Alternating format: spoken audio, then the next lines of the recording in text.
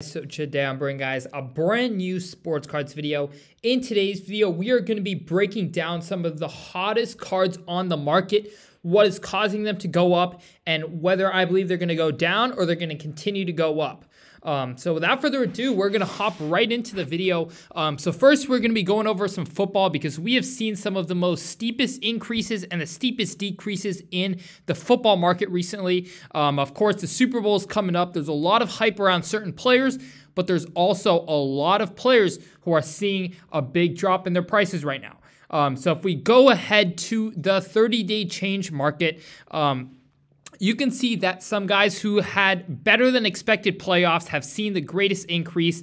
Um, so you have guys like Jordan Love, who wasn't expected to beat the Cowboys. He was able to get that win, and you've seen his prices rise 45% over the last 90 days. Um, so that is one of the hottest players that we see on the football market right now. Of course, you have other guys, running backs, um, you know, such as Gibbs, McCaffrey, um, and just an overall you know, surge in skill players because, as you guys know, um, Niners and Chiefs in the Super Bowl, those guys are going to be really hot leading up to the Super Bowl. Um, but whoever after the Super Bowl, I do expect a decrease in a lot of these players who are getting an artificial hype up for the Super Bowl. Um, so that can be guys like Christian McCaffrey, Brock Purdy, um, Patrick Mahomes, Travis Kelce, etc. um, but if you look to the guys who are falling a lot right now, it is guys who had extremely disappointing seasons. Um, guys who you can think of like Desmond Ridder, guys who you know perform badly in the playoffs, such as Tua, Hurts, and Prescott. Um, and these could be good buying opportunities because during the offseason leading up to next year, you're going to see a resurgence in the demand for, you know, all quarterbacks across the league. And oftentimes when a guy's market dips a little bit too much, um, you know, you can see a correction start to happen um, and prices start to bounce back up. I expect that to happen with Hurts and Tua. Um, Prescott, I believe at this point is kind of getting to the little bit on the older side. Um, you know, Hurts and Tua were class of 2020. Prescott's class of 2016. Um, so you can start to see that prices on older quarterbacks will start to fade downwards over time. We're likely going to see that with Prescott, but I'm personally a buyer in Tua and Hurts' market. Even Lamar, I don't know why he's not on this list yet, but his card market has started to really cool off um, since his loss. Um, we could see some cards like his National Treasures BGS 9. This card right here was trending very strongly. Um, sorry, I meant to put out of 99. But yeah, there's a lot of Lamar cards that have really, really, really cooled down even with most recent sales. So if you look at the last alt auctions, um, you can see that this Na- National Treasures BGS 9, um, you know, was a $14,000 card right before they lost. And it literally almost cut in half, um, you know, the week after. So this card literally dipped um, around $6,000 in pretty much with one playoff loss.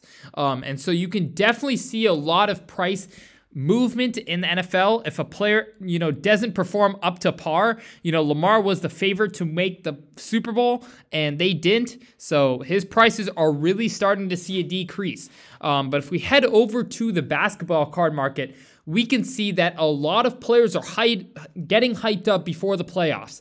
Um, so we see Anthony Edwards sitting at the number one seed as I'm recording this video. We see Jalen Williams, of course, on the red hot Thunder. Um, you know, we see a lot of opportunity in the market for guys heading into the playoffs. Guys like Kawhi Leonard, who's known to be a playoff player, and his card market has been really soft and is starting to pick back up, which is a great sign um, you know, and I just think overall, whoever makes big runs in the playoffs, so you could see guys like this, um, you know, start to see 30, 40% increases if they do well in the playoffs. Um, so I think that's where we're starting to see the hype. And I we're seeing great sell offs of guys who may not make the playoffs. Um, guys like Jalen Green, Coby White, um, you know, Cade Cunningham, of course, on the Pistons, definitely not making the playoffs. Um, Shaedon Sharpe. So a lot of guys who are not making the playoffs are seeing big price decreases. But if you look at the guys who are making the playoffs, playoffs. Um, you know, guys like Westbrook, Embiid, Jalen Williams, you know, Shai Gilgeous, Kawhi Leonard, um, Anthony Edwards. These guys are all heading into the playoffs and are going to be very hot.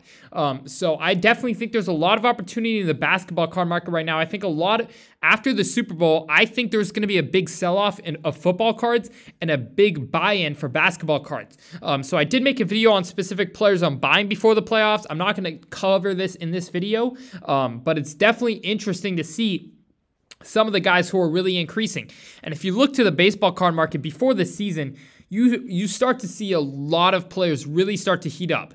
Um, of course, you're gonna have guys go down like the Wander Francos, but overall, the you know trending up list is a lot lot stronger than the trending down list. Um, so these are just some of the you know hottest guys heading into next season. Um, Jackson Holliday, of course, Spencer Jones, all these top prospects that are you know pr- it's pretty um, predictable that they would be up here heading into the baseball season. So I hope you all enjoy this little market update video. If you enjoyed, smash the subscribe button. We are on our way to 50,000 subscribers. Other than that, I hope you all enjoyed, and I'm out. Peace.